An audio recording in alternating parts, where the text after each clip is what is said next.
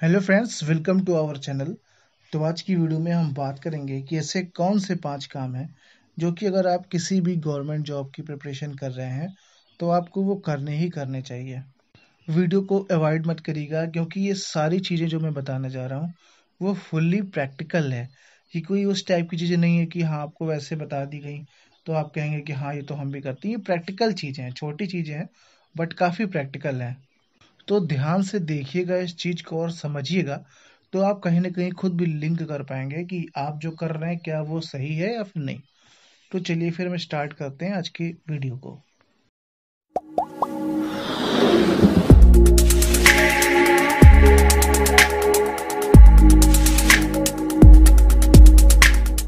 तो सबसे पहली जो चीज़ है, वो है कि रीड नोटिफिकेशन केयरफुली यानी कि जिस भी जॉब के प्रिपरेशन करते हैं, आप जब भी अप्लाई करते हैं तो उसका नोटिफिकेशन आप पूरा पढ़िए।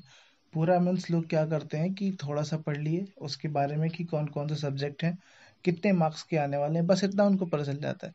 सिलेबस भी उनको पता रहता है, लेकिन पूरा का पूरा नोटिफिकेशन पढ़ते ही नहीं है। इस वजह से उनको काफ़ी ज़्यादा प्रॉब्लम आगे चल के होती है। तो बस यही कहना आप लोग से कि पूरा का पूरा नोटिफिकेशन पढ़िए ज़्यादा टाइम नहीं लगेगा उसमें, बहुत लगेंगे तो आधे घंटे लगेंगे लेकिन अगर आप प्रिपरेशन कर रहे हैं तो आप नोटिफिकेशन पूरा पढ़िए। क्या आपने अभी तक किसी भी जॉब का नोटिफिकेशन पूरा पढ़ा है? अगर हाँ तो फिर कमेंट में बताइएगा। क्योंकि बहुत से लोग पढ़ना पसंद ही नहीं करते बोरिंग लगता है उनको। बट आप खुद सोचिए कि जिसकी आप प्रिपरेशन कर रहे हैं, अगर वही बोरिंग लगेगा तो फिर कहाँ से काम चलेगा? तो पढ़ना स्टार्ट करिए। काफ़ी उसमें काफ़ी कुछ आपको मिलेगा ऐसा सीखने के लिए, आपके जॉब के बारे में तो काफ़ी आपकी प्रॉब्लम्स कम हो जाएँगे उससे। और दूसरा जो चीज़ है कि आपका प्रिपरेशन टाइम जो होता है जो प्रिपरेशन पीरियड होता है, वो आप कब रखते हैं? जैसे कुछ लोग होते हैं तो प्रिपरेशन करते हैं तो वो किसी पोस्ट की नहीं करते। वो गवर्नमेंट जॉब की प्रिपरेशन करते हैं। अभी गवर्नमेंट जॉब कौन सी पोस्ट होती है? गवर्नमेंट जॉब यानी कि अगर वो वीडियो का फॉर्म आ रहा है तो उसको भी अप्लाई करेंगे। एसएससी का एमटीएस आ रहा है, वो भी डालेंगे। सीएचएसएल आ रहा है, वो भी डालेंगे। कोई अदरवाइज़ कहीं पुलिस की कोई भर्ती आ गई तो उसको भी डाल रखें। तो ये इस टाइप से प्रिपरेशन कहाँ हो पाएगी आपकी? इतनी सारी जॉब्स आजकल आ रही हैं अलग अलग डिपार्टमेंट में। सबका सिलेबस अलग रहता है। कुछ सब्जेक्ट भले चेंज होंगे कि इसमें इंग्लिश आ रहा है तो उसमें इंग्लिश नहीं हिंदी आ रहा है। तो ऐसा नहीं कि दो चीज़ में हिंदी आ रही है तो दोनों का सिलेबस भी सेम हो। हो सकता है उसका सिलेबस अलग ही हो। और लेवल भी अलग होता है पेपर्स का। तो ये जो गवर्नमेंट जॉब की प्रिपरेशन करते हैं ना, वो लोग थोड़ा सा इसको ज़्यादा ध्यान दें कि आप गवर्नमेंट जॉब की प्रिपरेशन नहीं, आप अपने पार्टिकुलर पोस्ट की प्रिपरेशन करिए जिसके लिए आप तैयारी कर रहे हैं। आप कोई एक पोस्ट सेलेक्ट कर लीजिए। और क्या होता है ऐसे लोग, जब नोटिफिकेशन आता है फिर उसके बाद पढ़ना स्टार्ट करते हैं। एक डेढ़ महीने, दो महीने का जो भी टाइम होता है तो उसमें स्टार्ट करेंगे। फिर उसमें पढ़ाई कर रहे हैं, दो महीने बाद दूसरा नोटिफिकेशन आया, वो बंद, अब उसको स्टार्ट कर दिए। तो दो महीने में कहाँ कंपटीशन निकलेगा आपका? नोटिफिकेशन आने के बाद रिवीजन होता है प्रिपरेशन नहीं स्टार्ट होती है। तो इसलिए जिस भी जॉब की आप प्रिपरेशन कर रहे हो, पहले आपका एम तो वो होना चाहिए कि आप करना क्या चाह रहे हैं। फिर आपको जब पता चल गया कि हम इस जॉब की प्रिपरेशन कर रहे हैं, फिर आप उसका सिलेबस अच्छे से एग्जामिन करिए और डेली उसकी प्रिपरेशन करिए। जैसे आप कोचिंग जाते हैं, वैसे आप डेली प्रिपरेशन करिए, उसके लिए टाइम निकालिए। चार घंटे, पाँच घंटे जितना भी आपको देना है उस पार्टिकुलर जॉब के लिए दीजिए, ना कि गवर्नमेंट जॉब के लिए दीजिए। जिस, जो आपको चाहिए उसके लिए आप दीजिए। उसका सिलेबस मान लीजिए इंग्लिश है मैथ है और रीजनिंग है, उसमें हिंदी नहीं आ रही है तो आप उसको तैयार करिए। अगर जीएस है और इंग्लिश है तो आप उसको तैयार करिए। और ये भूल जाइए कि जब नोटिफिकेशन आएगा, फिर हम तैयार करेंगे। आपको वही रूटीन डेली फॉलो करना है। नोटिफिकेशन चाहे अगले महीने आ रहा है, चाहे छः महीने बाद आ रहा है, उससे आपको मतलब ही नहीं होना चाहिए कि नोटिफिकेशन सितंबर में आएगा तो हम जो है मई से स्टार्ट करेंगे। ऐसा नहीं होना चाहिए, बिल्कुल भी। तो ये सारी चीज़ें आप लोग देखिएगा ज़रूर, ठीक है? और नेक्स्ट जो सबसे बड़ी गलती आप लोग कर देते हैं कि अगर कम पोस्ट हैं, जैसे कि तीस पोस्ट है, चालीस पोस्ट है या बीस पोस्ट है तो काफ़ी सारे लोग अप्लाई नहीं करते हैं। सोचते हैं कहाँ इसमें होने वाला है मेरा। बट ये भी बहुत गलत चीज़ होती है, क्योंकि काफ़ी सारे लोग यही सोच के आपके तरह भी अप्लाई ही नहीं करते हैं कि मेरा कहाँ होने वाला है। जब 800 पोस्ट थी, तब मेरा हुआ नहीं। आज 10 पोस्ट है तो कहाँ से होगा मेरा?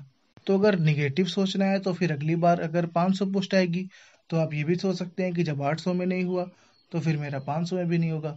तो ये तो बिल्कुल ही वाहिया सी चीज़ होती है, जो लोग भी सोचते हैं ऐसा कि मेरी 800 पोस्ट में 500 पोस्ट में सिलेक्शन मेरा हुआ नहीं, और अब 10-12 पोस्ट आई तो मेरा नहीं हो पाएगा।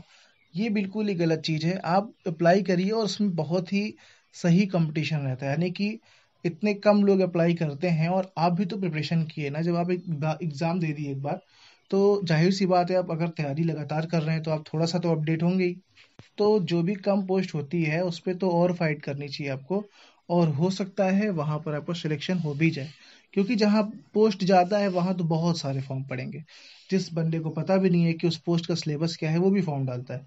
लेकिन जहाँ लिमिटेड पोस्ट है, वहाँ सिर्फ़ वही फॉर्म डालता है, जो कि प्रिपरेशन कर रहा है। और ये वीडियो उसी के लिए है, जो कि प्रिपरेशन कर रहा है। और नेक्स्ट टिप है कि आप लोग पढ़ते टाइम काफ़ी ज़्यादा टेंशन ले लेते हैं, ये बहुत गलत चीज़ है। बिल्कुल प्रेशर रिलीज़ करिए अपना। प्रेशर रिलीज़ करके तब स्टडी करिए। प्रेशर रिलीज़ मतलब क्या है? कुछ लोग सोचते हैं कि अब चार महीने एग्ज़ाम बचा हुआ है अब टीवी नहीं देखना है मुझे मुझे मोबाइल नहीं यूज़ करना है गेम नहीं खेलना है, कहीं बाहर जाना बंद। तो इस वजह से क्या होता है, आप खुद के ऊपर एक बहुत बड़ा प्रेशर बना लेते हैं और वो प्रेशर होता है आपको एग्ज़ाम का। आपके माइंड में होता है कि एग्ज़ाम जो है बहुत बड़ी चीज़ हो गई है। इसलिए प्रेशर को रिलीज़ करिए। वो अच्छा इफ़ेक्ट नहीं करेगा आपके माइंड के ऊपर। और ये सारी चीज़ें आप लोग को बताने की ज़रूरत नहीं है। आप लोग पहले से कहीं ना कहीं जानते होंगे कि प्रेशर किसी भी तरीके से किसी के लिए भी अच्छा नहीं होता, चाहे वो फिजिकली हो या फिर मेंटली हो। तो मेरा सजेशन आप लोग को यही है कि आप डिस्टर्ब ना होइए किसी भी एग्ज़ाम को, चाहे आपका परफॉर्मेंस पिछले एग्ज़ाम में कितना भी बेकार हो, या फिर ज़्यादा अच्छा है, फिर भी आप बहुत ज़्यादा एक्साइटेड मत होइए। तो प्रेशर वाली स्टडी बिल्कुल छोड़ दीजिए इंजॉय करके पढ़ाई करिए। हाँ आप अपना फिक्स रूटीन बनाइए कि मुझे इतने घंटे पढ़ना है, और ये ये सब्जेक्ट पढ़ना है। डेली आप टच करिए, बस उसके बाद आप इंजॉय करिए अपनी लाइफ को, आप सॉन्ग भी सुनिए मोबाइल भी चलाइए गेम भी खेलिए, सब कुछ करिए। बट ये सब चीज़ें करने के बाद आपको करना है, अपनी स्टडी को कंप्लीट करने के बाद। जैसे काफ़ी फ्रेंड्स होते हैं, अगर दो महीने पहले उनका एग्ज़ाम होता है तो मोबाइल से फेसबुक हटा देंगे व्हाट्सएप हटा देंगे। और खेलना, अगर खेलने कूदने जाते हैं तो वो बंद कर देते हैं। शादी पार्टी में जाना बंद कर देते हैं। तो क्या होता है कि एग्ज़ाम तक उनके ऊपर इतना प्रेशर रहता है कि घर वाले ने कहा था कि बच्चा कहीं जा नहीं रहा था, ना शादी में, ना पार्टी में और कोई गेम नहीं खेल रहा था, इस बार तो इसका निकल ही जाना चाहिए। और वो खुद भी अपने ऊपर प्रेशर बना लेता है। तो प्रेशर बहुत ही ज़्यादा नुकसान करता है, आप वहाँ पर जाएँगे तो एग्ज़ाम में आपके ऊपर जो प्रेशर रहेगा, उस वजह से आपको अगर कुछ इरादा भी रहेगा तो आप गलत करके वहाँ पर चले आएँगे। तो प्रेशर नहीं, मेरे हिसाब से तो अगर एग्ज़ाम के पहले भी आपको कहीं जाना आना पड़ रहा है शादी में एक दो दिन के लिए तो आप जाइए वहाँ पे। आपके माइंड पे जो एक एक्स्ट्रा प्रेशर पड़ा होता है, वो रिलीज़ हो जाएगा। ये नहीं कि आप डेली जा रहे हैं मतलब जहाँ पर इम्पोर्टेंट शादी आपके घर में है या फिर कहीं कोई फ्रेंड्स आए हैं, कोई पार्टी अटेंड करनी है तो मेरे अकॉर्डिंग आप सभी को जाना चाहिए, क्योंकि आप अपना स्टडी का जो टाइम है, जो स्टडी पीरियड है, आप उसको कंप्लीट करके जा रहे हैं। तो मेरे हिसाब से इसमें कोई बुराई नहीं है कि आप एग्ज़ाम टाइम शादी या फिर पार्टी में नहीं जाएँ या फिर आप खेलना कूदना बिल्कुल बंद कर दें। फेसबुक भी चलाइए व्हाट्सएप भी चलाइए, सब चलाइए गेम भी खेलिए बट अपने एक लिमिट में अपना एक टाइम फिक्स करके, क्योंकि हम सब इतने समझदार हैं कि हमें पता है कितनी देर किसका यूज़ करना चाहिए, लेकिन हम फिर भी नहीं करते हैं। और जो लास्ट की टिप है, ये तो बहुत ही अच्छी टिप होगी आप लोग के लिए, कि जो आपका संडे वाला दिन होता है, उसको छुट्टी मत बनाइए। उसको एक स्पेशल डे बनाइए। स्पेशल डे आप कैसे बना सकते हैं कि जो स्टडी आप करते हैं, वो इस तरीके की मत करिएगा कि मैं दस दिन में ये इतना कंप्लीट करूँगा, बीस दिन में इतना कंप्लीट करूँगा, इस तरीके के नहीं।